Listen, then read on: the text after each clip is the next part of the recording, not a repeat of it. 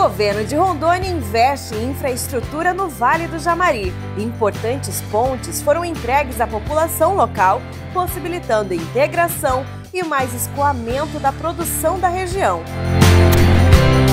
Por meio do DER, Machadinho do Oeste recebeu a ponte de concreto na RO 133 sobre o Rio Belém. O investimento superou a casa dos 6 milhões.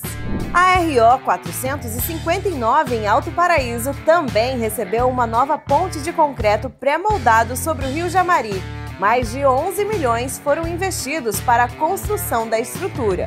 Ariquemes é outro município contemplado com pontes sobre os rios Anta, Azul, Vermelho e Onça, na RO 257. São mais de 15 milhões investidos nas quatro estruturas.